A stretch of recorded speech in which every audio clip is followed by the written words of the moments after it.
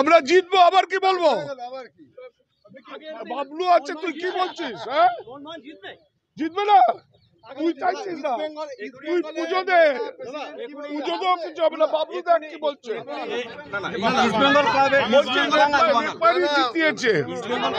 সাংঘাতিক সম্মেলন করলো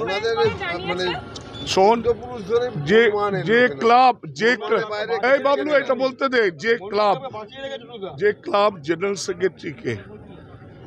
আজ অব্দি কোনোদিন অসম্মানক কথা বলা যায় না সেই ক্লাব যে অসম্মানজনক কথা বলেছিল তারপর ইস্ট বেঙ্গল সম্বন্ধে আমি কথা বলতে চাই না মাঠে হবে